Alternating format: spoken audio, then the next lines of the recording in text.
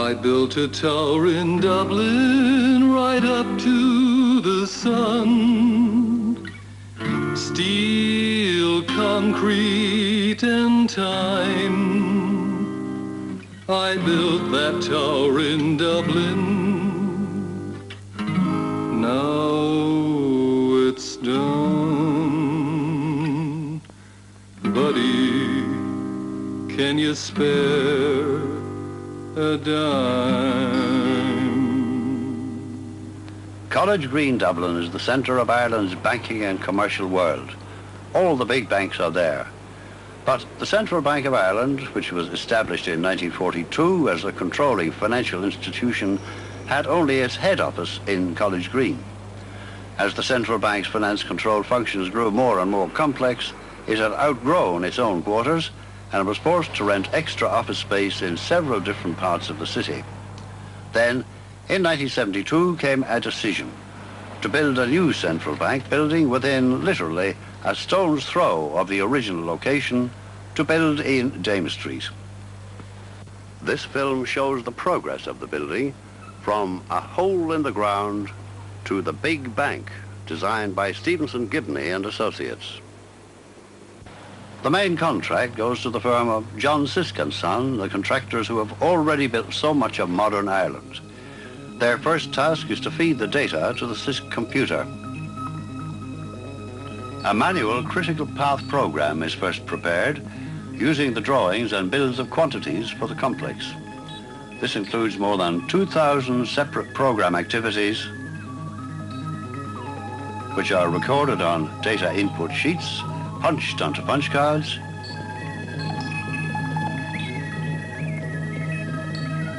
and fed into the electronic brain. The computer digests the data briefly and then begins to print out all the programs needed by the consultants, the specialist subcontractors, and by Sisk's own project management team. These programs were updated regularly in view of the many variables in a project of this size. The job is a really big one. A 45 by 50 meter building giving 8,500 square meters of office space and a further 1,200 square meters of space in subsidiary annex buildings on the same site, which will include a fine purpose-built restaurant.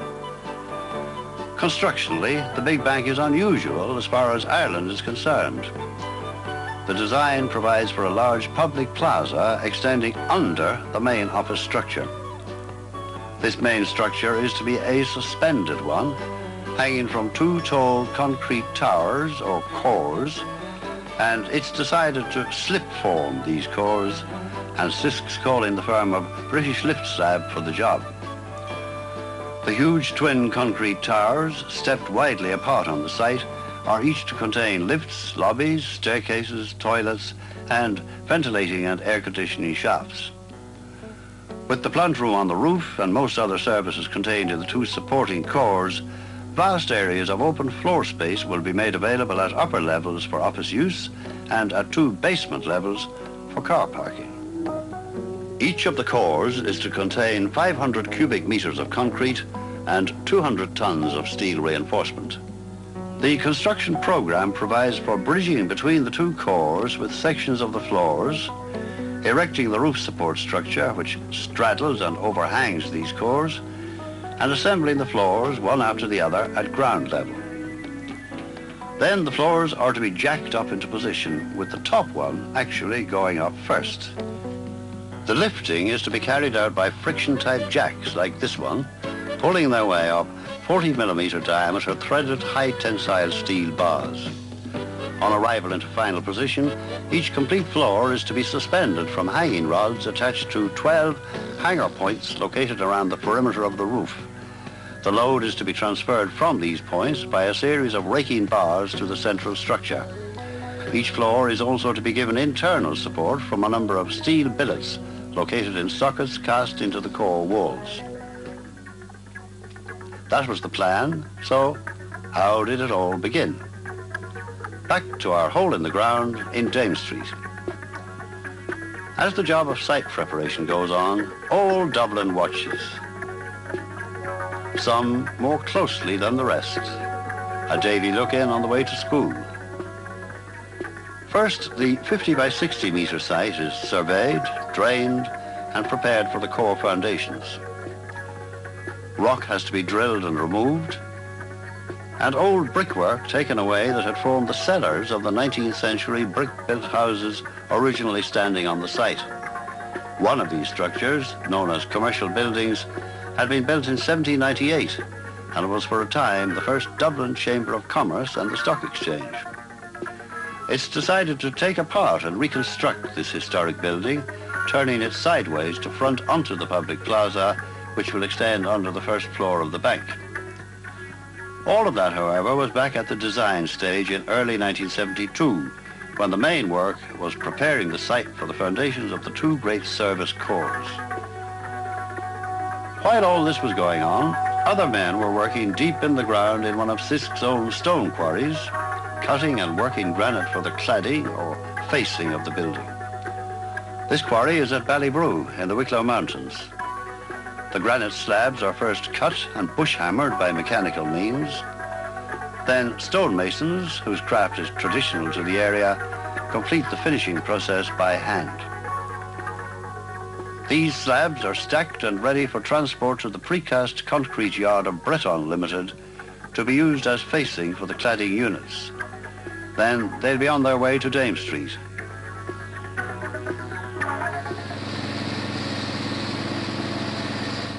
At the same time, in Dublin's North Strand at Smith & Pearson Steelworks, structural steel for the bank has been fabricated.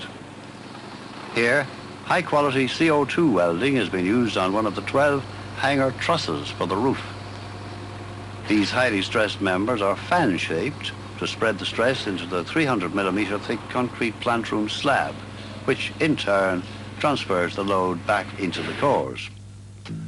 Back at the site, the core bases are still being worked on. These bases are founded on solid rock. The rock here was core drill tested to a depth of 10 feet. Each base incorporates 40 tons of high tensile steel reinforcement and is 750 millimeters thick.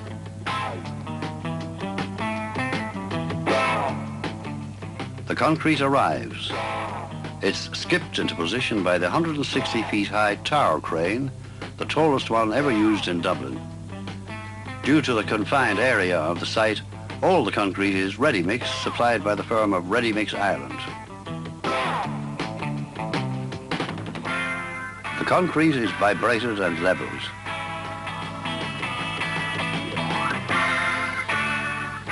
One hundred and twenty cubic meters is used in each core foundation.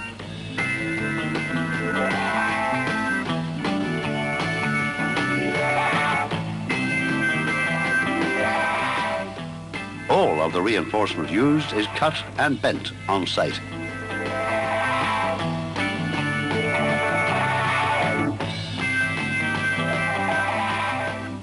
In a month, the foundation for the first core is ready.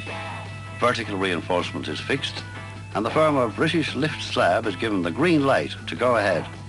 The big concrete mushroom is ready to shoot up. The first operation is to place door oak forms in position on the foundation of the first core. Then, a shutter module is built on site by Sisks from drawings prepared by the British Lift Slab Company. The sections of this shutter are made by cutting standard sections to plan. The module incorporates a one meter deep section of shuttering for the walls. The module for each core was built on site in a period of a fortnight. Then into the narrow streets hugging the site on three sides come the first of the continuous convoy of ready-mix trucks which will arrive at the rate of one each hour, 24 hours a day, literally pouring the two great concrete towers into the sky in a night and day operation that goes on for a fortnight. The first of the 43 metre high cores goes up in nine days. The second takes only five days. These cores look simple externally, but inside they're very complicated. On each floor level there are 12 doorways, 14 duct openings, and 19 cast-in steel inserts to receive the billets to support the concrete office floors. Each core calls for 500 cubic meters of concrete and 200 tons of reinforcement. The British Lift Slab Company has provided for three platform levels in the slip forming module, the third one being a suspended inspection platform. The concrete is landed by crane on the top deck, an operation calling for very precise control by the crane driver and his mate on the ground. From this deck, where working materials are also stored, chutes direct the concrete to each compartment on the working deck below. Guides are set to direct the vertical steel reinforcing bars and door frames into the walls being cast underneath.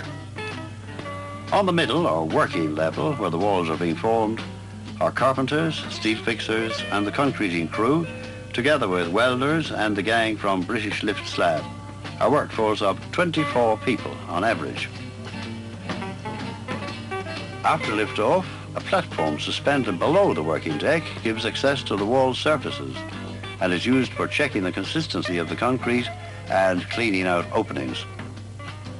Tarpaulins hanging from the top enclose the working level, protecting the fresh concrete below the lowest platform from damage by wind and frost. 48 friction-type jacks are used to lift the module these jacks are connected to three central hydraulic pumps which are controlled from the lift slab console on the working platform. The hydraulic fluid pumped up by them forces the jacks to climb inch by inch up 50 millimeter diameter fixed steel tubes, very much as the climbing irons of an electricity linesman move up a pole. Additional tubes are joined on by screwing them together as the shutter climbs. The stroke of each jack is 70 millimeters and the control system ensures that no stroke can take place until all the jacks have completed the previous one. The lifting rate is between 150 and 450 millimeters an hour. Because the work is complicated and the job comes right in the depth of a very cold winter, British Lift Slab have set a target rise rate of the cores at 250 millimeters an hour. As the great concrete tower mushrooms up from ground level, people are amazed at the speed of its rise. At 350 millimeter intervals, the entire module is leveled. Jacks are adjusted manually to a datum mark on each climbing tube. These marks have been made previously using a level on the upper platform. An optical plumb is used to check verticality. It's clipped into stations at ground level to read target boxes fixed to the soffit of the platform a plumbing accuracy of plus or minus 20 millimeters is achieved. As the shutter rises, levels are established by four steel tapes paying out from their anchor positions at the bottom and set to read the correct ordnance datum. Levels in the openings in each wall are clearly shown on heat-sealed drawings hung on the shutterings close by the work. The most critical items in these walls are the inserts forming sockets to receive the floor support spigots. About 95% are found to be within the required tolerance of plus or minus 50 millimeters. Work goes on 24 hours a day. When the cores are finished, the modules are taken apart. Eight castellated universal steel beams are dropped in at each level to span the 15 meter gap between the cores. These beams are supported on channels at each core. The channels bear on solid steel billets inserted into preformed steel sockets cast into the core walls. These one and a half meter square precast concrete slabs complete the bridging operation. There are 60 of them at each level. The slabs will later be bonded together with steel reinforcement and concrete so as to act compositely with the supporting universal castellated beams. The bridging operation takes place during the first three months of 1973. Not the warmest place in the world on these icy winter days, the Alimak lift on one of its endlessly repeated milk runs to and from the sky.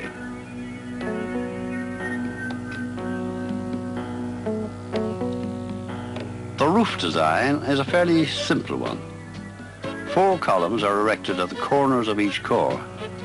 These act as vertical compression members and are fabricated from 475 by 425 millimeter universal column sections.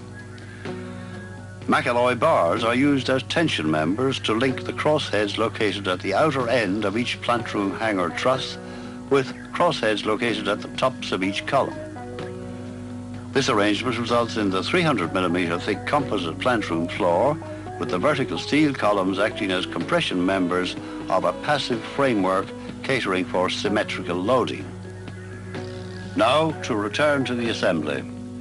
The lifting operation is a tough and formidable one, for the base of each of the vertical structural steel columns is 37 and a half meters above street level. As the load was too heavy for the tower crane, the lift is carried out with a 65-ton mobile one. Control is by radio link. Distances and heights are great, and the centre city traffic noise never stops. Each of the columns is then fitted with its supportive bracing bolted down onto the core roof. Then comes the assembly of the horizontal Macalloy bars, which tie the tops of the columns together to form the box-like structure bridging the two cores.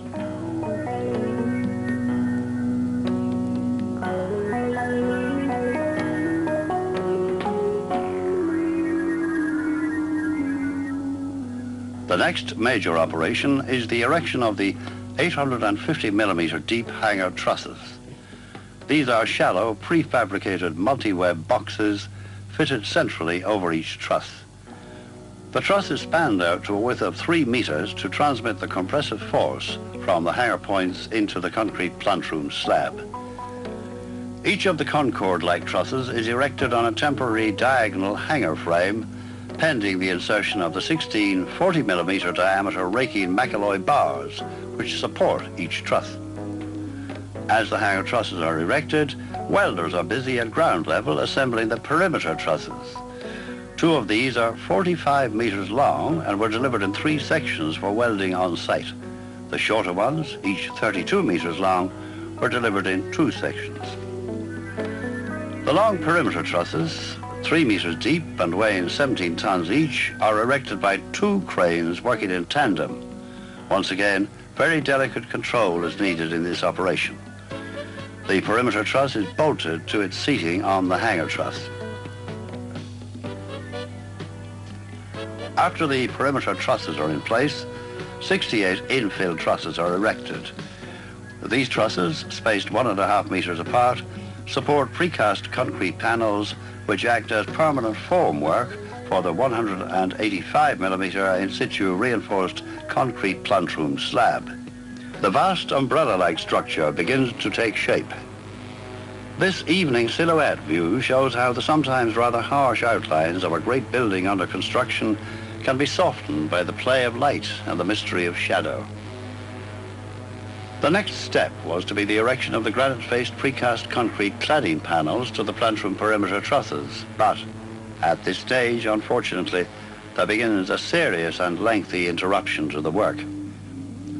After many complaints that the building is exceeding its permitted height, construction is halted in October of 1974. To make the effects of the stoppage less serious, Sisks proposed to the clients that three floors should be assembled at ground level each time instead of one, and this is agreed to. But all work is suspended in March 1975, pending the result of a planning appeal by the client. In April 1976, the workers return, and the big job goes on. At this stage, Sisks are asked to carry out major alterations at roof level. These involve removing the main roof envelope, leaving the interior structural system permanently exposed, a direction which calls for the complete redesigning of the plant room installation. And all this means additional delay in the completion of the building. The next major activity is the assembly of the floors. These are assembled at ground level on 12 support trestles and internal lifting beams in order to simulate final support conditions while each floor is still on the ground. Jacking rods are attached to the 12 hanger points on each floor and to the internal corner points of the lifting beams. Each of the seven office floors is constructed from precast concrete panels resting on 850 millimeter deep steel trusses. There are 64 such trusses and 12 hanger trusses on each floor. The perimeter of each floor is cladded with granite-faced precast concrete fascia and soffit panels prior to lifting. The soffit cladding units are placed on the ground before assembly for hoisting into place with winches. The fascia panels are erected by special purpose-built cranes which are able to operate under the overhanging structure. Trusses rather than beams are chosen on account of the high degree of permeability needed within the ceiling void for air conditioning, ducting and other services. The perimeter trusses, supported on hanger trusses, are cantilevered to the corners of the building. Before jacking up each floor, materials needed for finishing the building, windows, glass ducting and floor panels, are loaded for lifting with the floor, making the total lifting load each time 400 tons. The 50-ton BLS lifting jacks used to lift each floor are connected to two central hydraulic pumps and are monitored from a control console. If a jack fails to complete a stroke, its failure is indicated on the control console and the system stops at once. Each jack has a 200 millimeter diameter hydraulic cylinder with top and bottom crossheads to carry the threaded lifting rods. Nuts in the crossheads are automatically rotated to take up the load. Each stroke is 50 millimeters and the lifting rate can be up to 3 meters per hour. The 8 meter long lifting rods may be extended with couplers. A continuous lift is limited by these couplers which cannot pass through the jacks. So the lift is done in seven and a half meter stages. At intervals, the great load is temporarily parked. Jacks are released and the lifting rods are lowered. In this way, the seventh floor is parked on the first, third and fifth levels before final positioning and so on. Fixed lifting rods are suspended at the core corners to make possible the temporary parking by duplicating the rods in the jacks. At these temporary parking levels, split nuts are used to carry the load during the operation of rod dropping. Each floor is designed to encircle the bases of the twin cores, and when the jacks begin their lift, the floor slides up the cores like a napkin ring being pushed up a rolled napkin. After the three floors assembled during the planning dispute had been parked, the rest of the floors are assembled and lifted at two monthly intervals. The lift-off of each floor is a nerve-wracking business. All eyes watch as the great mass trembles slightly and then moves from inertness into a slow, slow climb. And the movement, as it continues upward, is accompanied by loud creaking sounds. Before each floor is transferred to its permanent supports, it's checked by sighting with an autoplumb from the ground and horizontal adjustments are made. The levels at which the perimeter of the floor is set take into account the extension of the Macalloy bars on transfer of the load. The core spigots are inserted from a suspended platform under the floor. Once inserted and checked, they're welded into position. Installation of the perimeter glazing begins before all floors are in place. And now, as the pace speeds up, comes the finishing off of the Macalloy bars. They're first wrapped in wax-impregnated tape,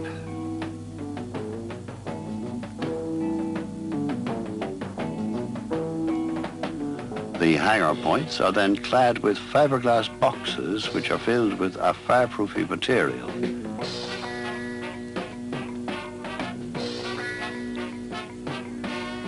Bars are then clad with preformed sections of fire protective material. The design for this was worked out by the structural consultants Ove Arup and Partners based on information supplied by the British Fire Research Station at Harwell where very extensive tests were carried out. The treatment is designed to give, under fire conditions, one hour's protection to the Macalloy steel support bars.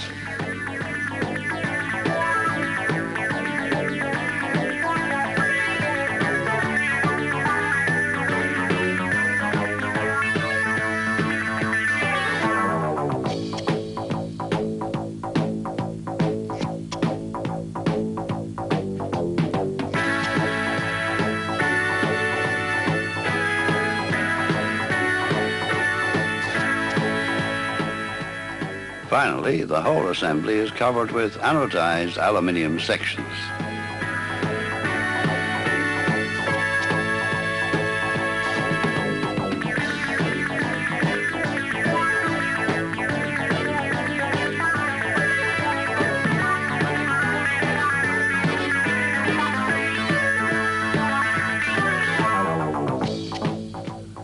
The floor trusses are clad in expanded metal lathing and then sprayed with a fireproofing compound.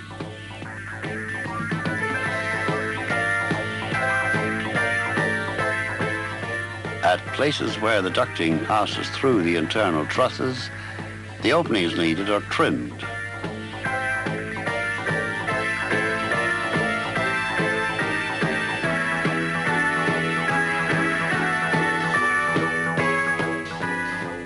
And the lathing is finally sprayed with fireproofing material.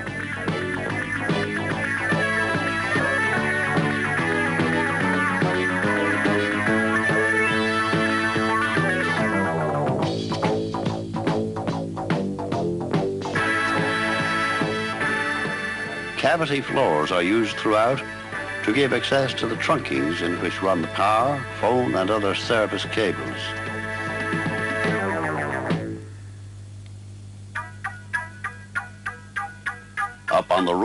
The main plant room, now redesigned, open to the skies and completely cladded in copper.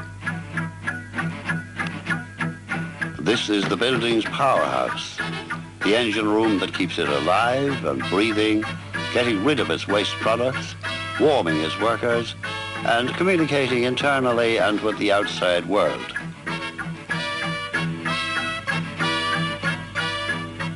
Air conditioning is designed on a grid system with input through anodized aluminium T units acting as diffusers for the incoming air.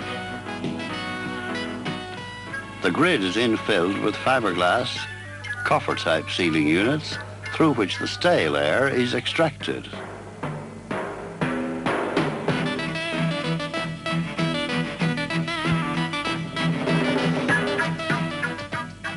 Light fittings are mounted centrally in these units.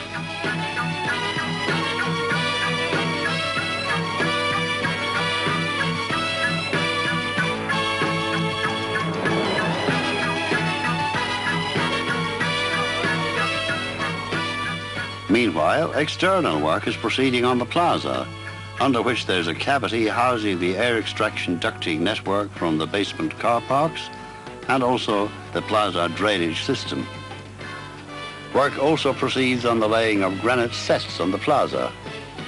These were cut to form fan-shaped patterns whose curves contrast soothingly with the austere lines of the great building looming overhead.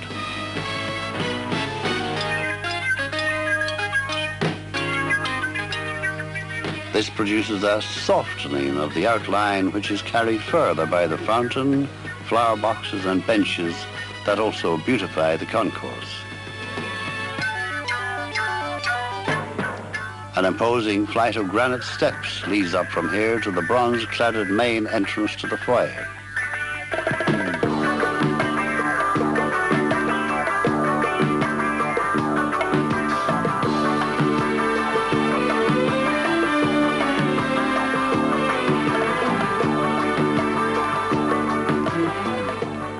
Now, more and more of the Sisk operatives have moved out. The carpenters, concreting crews, steel fixers and welders giving place to the incoming office workers.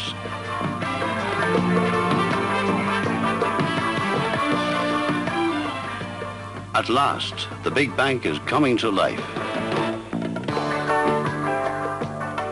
The staff takes over. They go to work in the brightly lighted, air-conditioned offices whose windows give a breathtaking panoramic view of sections of Dublin City, its mountains and its bay.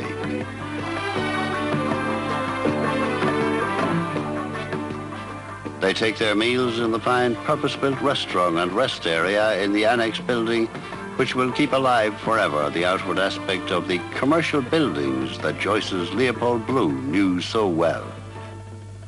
The interior of the restaurant building contrasts with the office areas to give a welcome change of environment to the staff during their rest periods.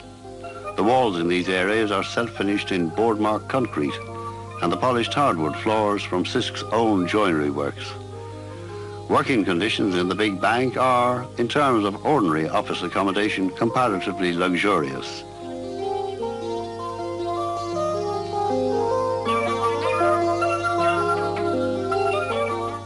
On the third floor is the foreign exchange room, where clocks keep you up to date on world time and electronic machines on the global movements in the money market. This is the control centre for the Irish punt. It's almost too warm in the boardroom, where the view is the best there is and the carpet is a specially woven Donegal one. You can now drive a car down the ramp to the huge basement twin-level car park that's taking a thousand cars off the city centre streets. The columns here, by the way, are hollow and contain air conditioning ductwork. Over the car park entrance ramp is the bank's security room, which monitors all services in the building. We've come a long way from our hole in the ground in Dame Street, and we've used a lot of steel and timber, concrete and cable, bolts and nuts, and sweat. But now, the big bank is finished.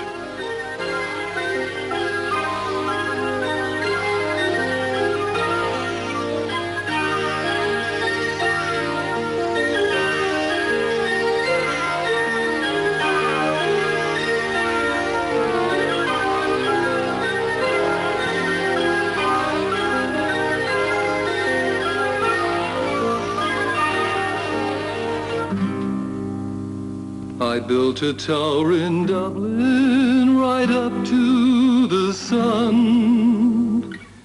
Steel, concrete, and time. I built that tower in Dublin. Now it's done.